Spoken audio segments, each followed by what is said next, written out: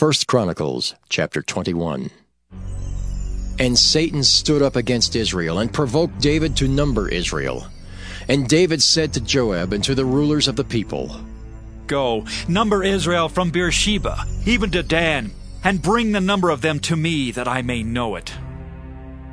And Joab answered, The Lord make his people an hundred times so many more as they be. But, my lord the king, are they not all my lord's servants? Why then doth my lord require this thing? Why will he be a cause of trespass to Israel? Nevertheless, the king's word prevailed against Joab.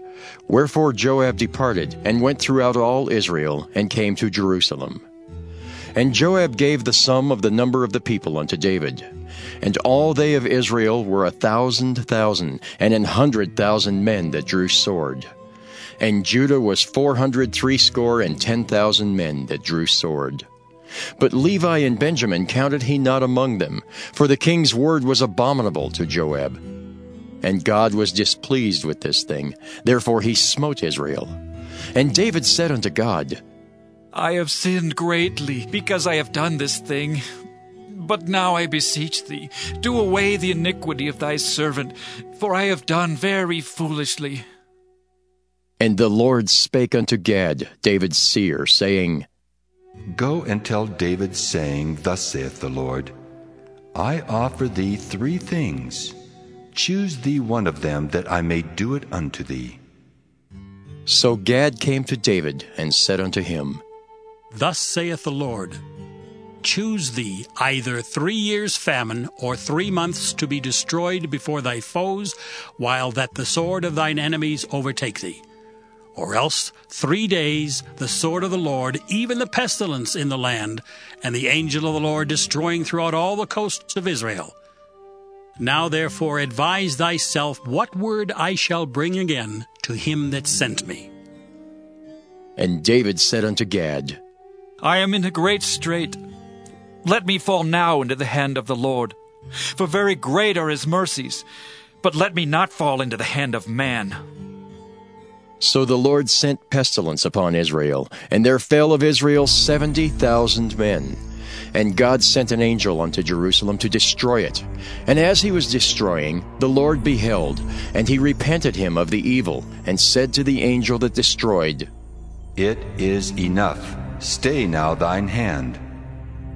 And the angel of the Lord stood by the threshing floor of Ornan the Jebusite. And David lifted up his eyes, and saw the angel of the Lord stand between the earth and the heaven, having a drawn sword in his hand stretched out over Jerusalem. Then David and the elders of Israel, who were clothed in sackcloth, fell upon their faces. And David said unto God, Is it not I that commanded the people to be numbered? Even I it is that have sinned and done evil indeed. But as for these sheep, what have they done? Let thine hand, I pray thee, O Lord my God, be on me and on my father's house, but not on thy people, that they should be plagued. Then the angel of the Lord commanded Gad to say to David that David should go up and set up an altar unto the Lord in the threshing floor of Ornan the Jebusite. And David went up at the saying of Gad, which he spake in the name of the Lord. And Ornan turned back and saw the angel, and his four sons with him hid themselves. Now Ornan was threshing wheat. And as David came to Ornan, Ornan looked and saw David, and went out of the threshing floor, and bowed himself to David with his face to the ground. Then David said to Ornan, Grant me the place of this threshing floor, that I may build an altar therein unto the Lord. Thou shalt grant it me for the full price, that the plague may be stayed from the people. And Ornan said unto David, Take it to thee, and let my lord the king do that which is good in his eyes. Lo, I give thee the oxen also for burnt offerings, and the threshing instruments for wood, and the wheat for the meat offering. I give it all.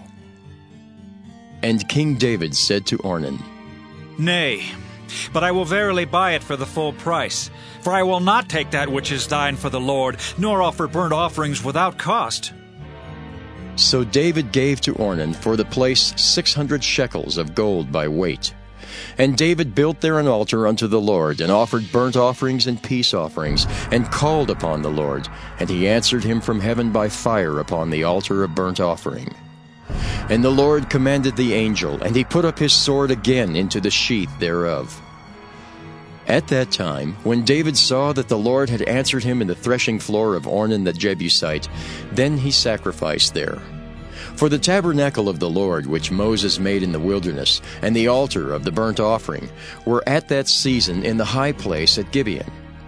But David could not go before it to inquire of God, for he was afraid because of the sword of the angel of the Lord.